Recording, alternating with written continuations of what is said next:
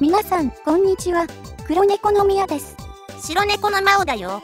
野良猫勉強会へようこそ。今回の動画は、中学受験の社会の一問一答になります。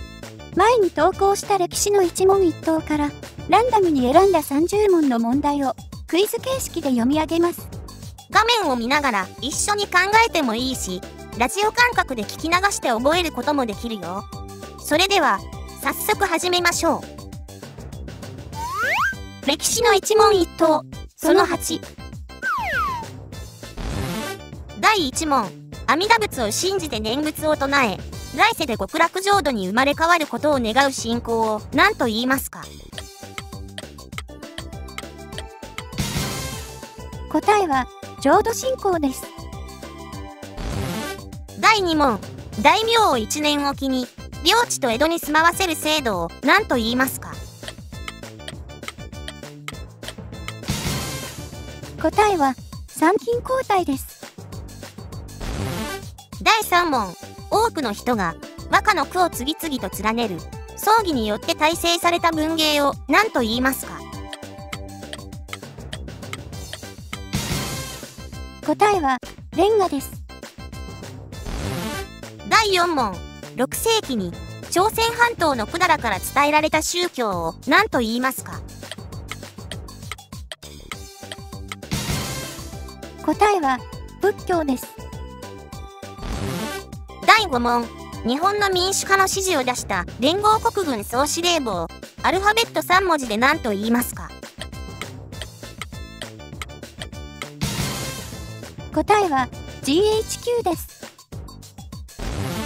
第6問飢饉の際などに都市で民衆が商人などを襲ったことを何と言いますか？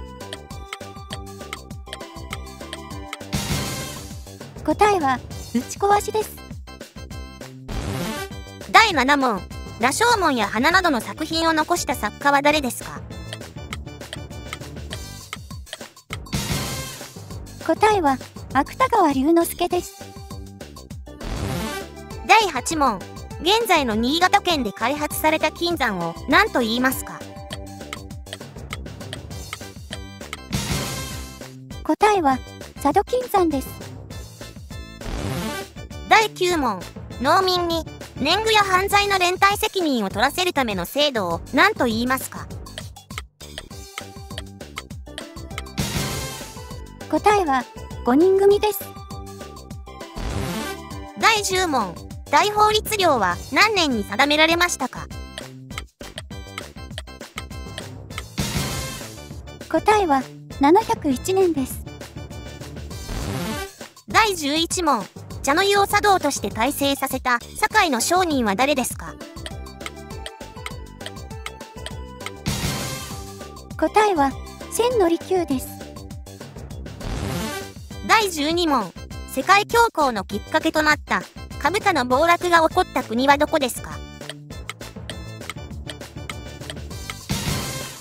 答えは、アメリカです。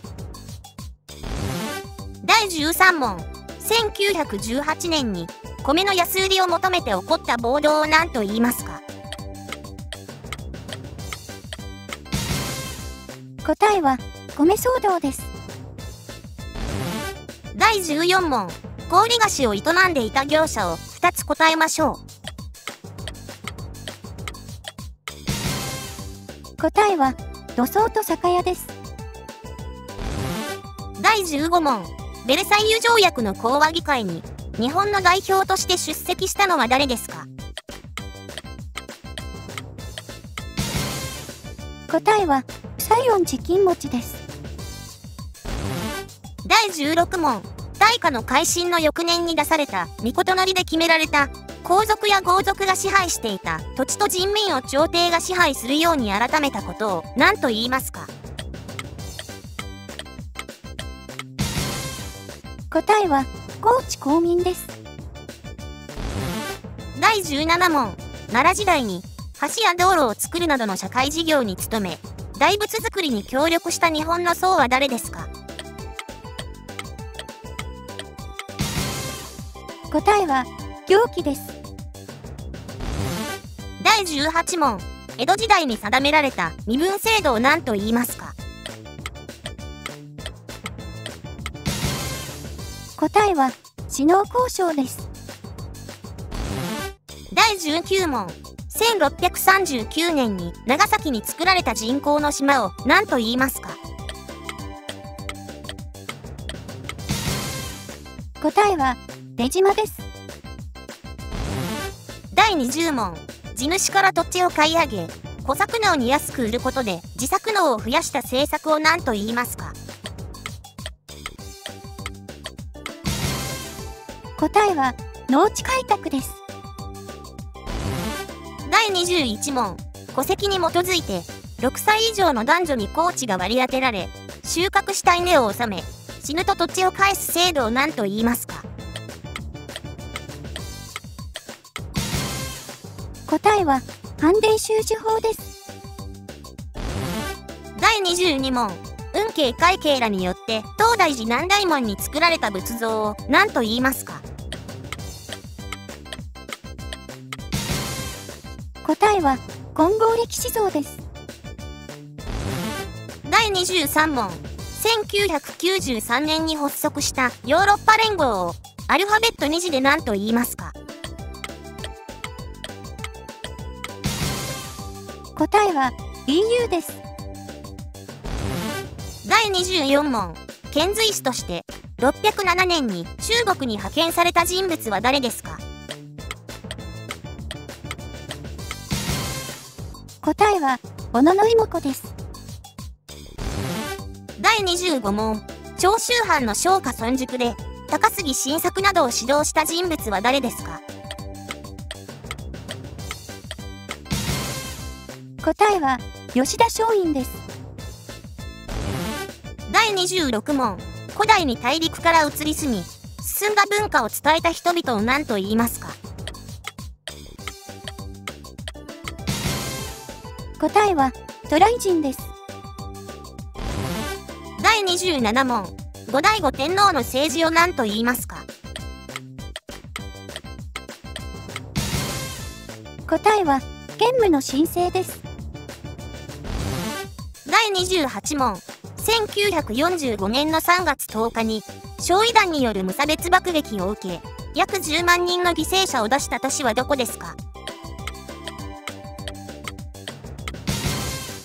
答えは、東京です。第29問。将軍の代替わりごとに朝鮮から送られた施設を何と言いますか？答えは、朝鮮通信使です。第30問。キリスト教を日本に伝えたイエズス会の宣教師は誰ですか？答えは、フランシスコ・ザビエルです。今回の動画は以上になります。ご視聴ありがとうございました。今後も動画を投稿していきますので、チャンネル登録と高評価よろしくお願いします。それでは、次回の動画でお会いしましょう。またね